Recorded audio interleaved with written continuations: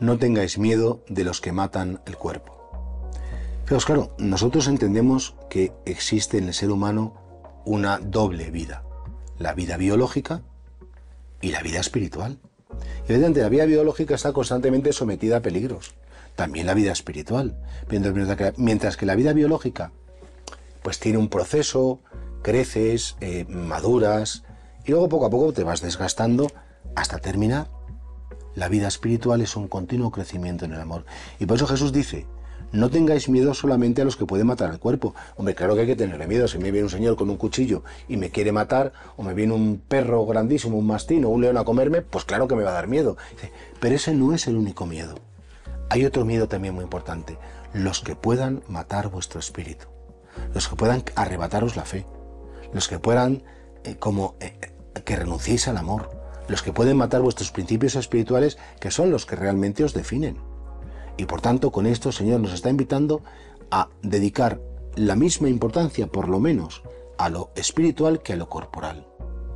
¿Cuántas veces, verdad, para estar guapos, para ir elegantes, para no sé cuándo? Yo no sé, pienso, como estas épocas de tantas novias, ¿no? La maquilladora va tres horas antes a prepararle el maquillaje y, dos horas para el, para el pelo. Y, está muy bien, porque, pues, pues, claro, que la novia está en monas, pues es maravilloso y cuánto cuidado corporal tenemos y gente que va a gimnasios, gente que va a, todo, fenomenal, y deportistas.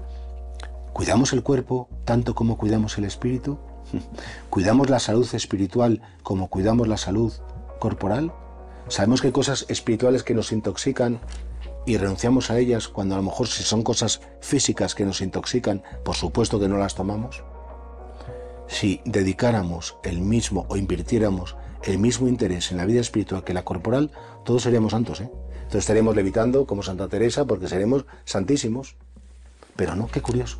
Nos volcamos, nos volcamos tanto en lo corporal que despreciamos lo espiritual. Y por tanto dice Jesús, no temáis solamente a los que matan al cuerpo. Temed más bien a los que pueden matar al espíritu, a los que os pueden apartar de mí, en definitiva. Temed al pecado, temed a aquellos que invitan a pecar, y temer sobre todo pues lo que es la muerte eterna, que es la muerte del espíritu que sería terrible. Y por eso vamos a ser valientes. Y vamos a ser inteligentes, porque ya no solamente cuestión de valentía, es cuestión de inteligencia. Si sé perfectamente que tengo una dimensión espiritual, si no la cuido es que soy tonto. Es que estoy tan centrado en cosas tan inmediatas que es que listo, listo no soy. ¿Cuánto tiempo dedicas a tu cuidado personal, físico? ¿Y cuánto vayas ajustando y equilibrando, que te hará mucho bien.